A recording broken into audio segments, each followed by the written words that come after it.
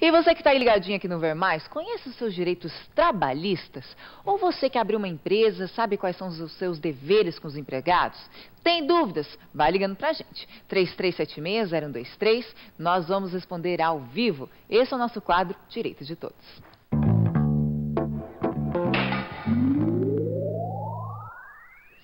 Como eu já disse, você pode participar ligando. 3376-0123. O assunto de hoje é direito trabalhista. Quem está comigo é o professor Henrique Gâmbaro. Boa tarde, professor. Boa tarde, Larissa. Prazer recebê-lo mais uma vez. E as perguntas já estão chegando, tá? Opa, o Leandro lá. é garçom, trabalha há quatro anos como autônomo, trabalha de sexta e sábado no mesmo lugar. Ele quer saber se um dia ele sair do emprego dele, ele tem algum direito. Ele já tem um monte deles. É, a o, o, contrato de trabalho, o vínculo trabalhista, ele não se dá por um trabalho nem pela carteira assinada, Larissa.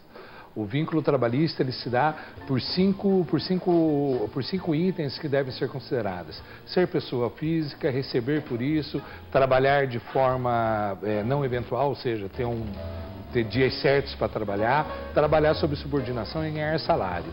Então, esse menino, se ele trabalha no mesmo lugar há quatro anos, ele é um empregado como qualquer outro empregado. Mesmo Sim, que não tenha carteira assinada. Não, a carteira assinada, é, ela, ela tem uma, é, a carteira assinada ela tem uma preocupação maior com a ideia previdenciária do que com a ideia trabalhista. O, a, o, a, relação de trabalho, muitas pessoas se enganam com isso, Larissa. A falar, ah, eu não sou empregado porque eu não tenho carteira assinada. Ah, eu não sou empregado porque eu não tenho um, um, um contrato de trabalho. Isso não importa. O que importa é a relação.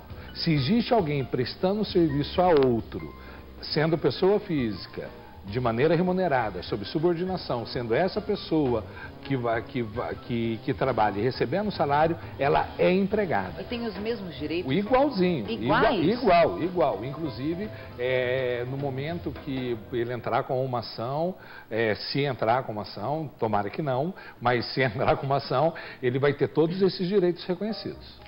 Terezinha, o filho sofreu um acidente, deu entrada no seguro DPVAT e ficou sabendo que depois de cinco anos caduca o prazo. Certo. Se for verdade, o que eles podem fazer? Eu não tenho ideia, porque isso é, não tem nada a ver com trabalhista.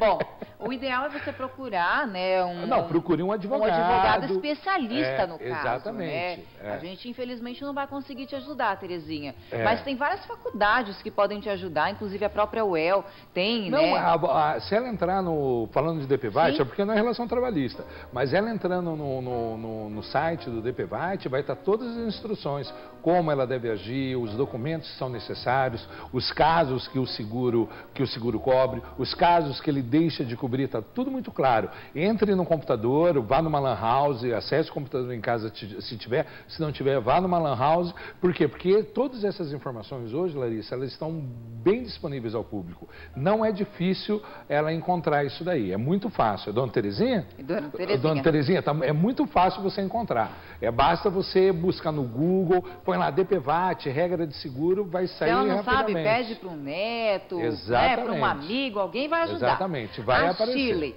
faxineira de quarta e sexta, sem carteira assinada. Sim. Quer saber quais são os seus direitos? É a mesma, é a mesma resposta que eu, que eu dei sobre o rapaz garçom. Leandro. É, vamos ver. Ela é pessoa física? Sim.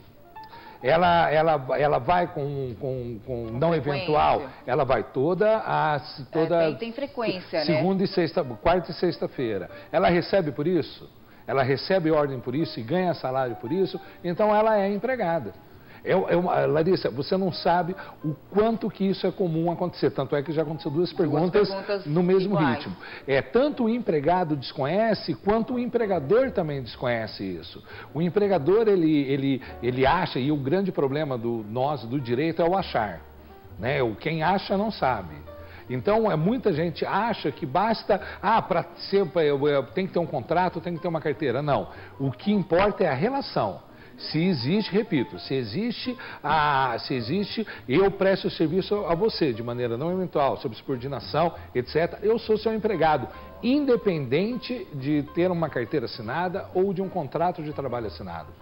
Né? Se ela entrar, ela sim, ela tem todos os direitos como uma pessoa. Obviamente que a Dilma tem a ideia, ela só trabalha dois dias por semana, etc. Mas isso não, não, não, não, não modifica nenhuma situação. Mas sendo duas vezes por semana, não tem aquela nova lei das empregadas domésticas? Então, mas daí tem que ser enquadrada como empregada doméstica.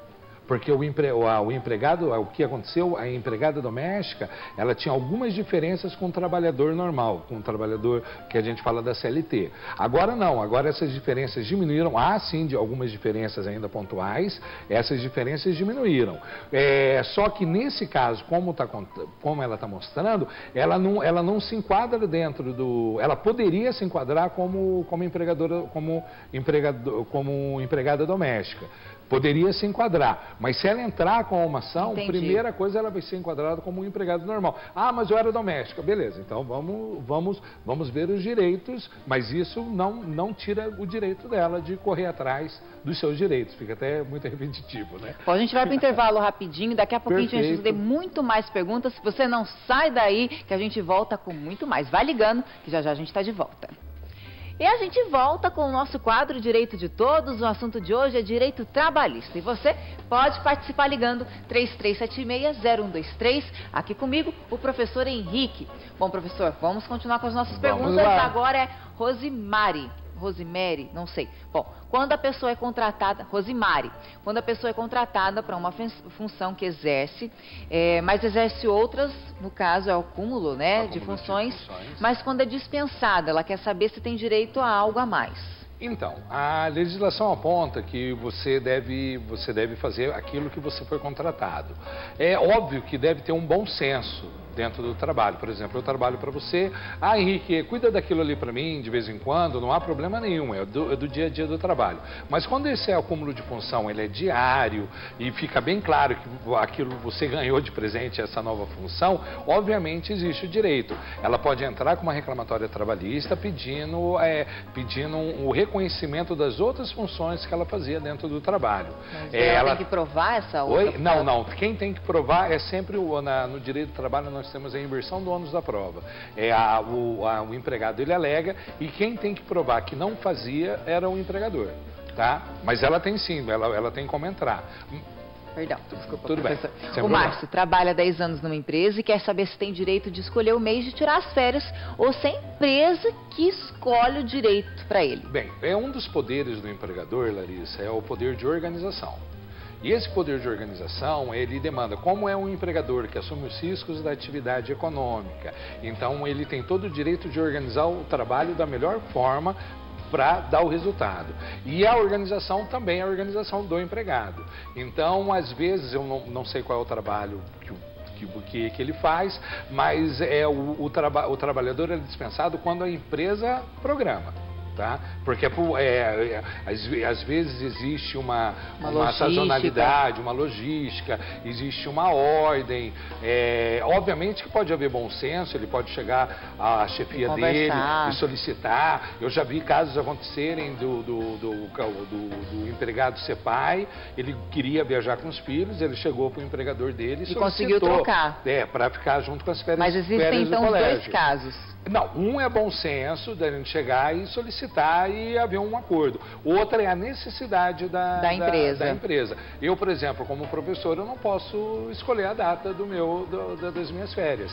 Eu, as minhas férias, elas batem sempre com as férias escolares. Então, mesmo, ah, não, mas eu gostaria. Não, Aí a organização é que define isso. Obviamente existe a lei sobre férias, não pode vencer duas férias, isso tudo.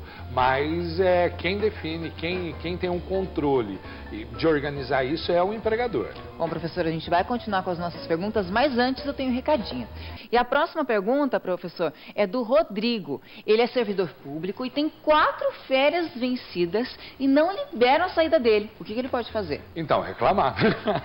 ele é funcionário público né? Então, a, a, a, o que a gente discute sempre sobre, a, sobre as férias, tudo, é o empregado da CLT, não o estatutário. Aí tem que ver como funciona o, o, o regulamento de, desse estatutário para saber como é que como que como vai. é que fica, é, né? É óbvio que é, esse, esse senhor ele deve ter a, deve ter as leis em mãos e ali vai estar definido o que ele pode fazer ou não.